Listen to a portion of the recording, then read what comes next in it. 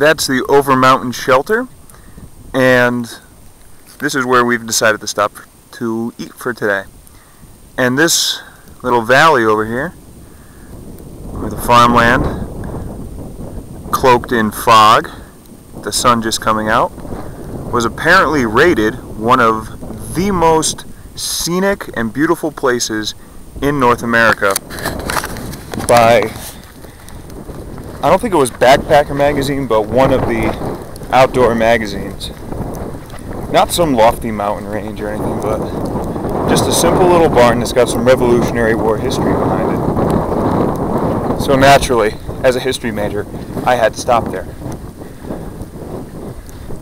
So I'm just going to give you one last view here as the sun tries to poke through of the most scenic place in North America.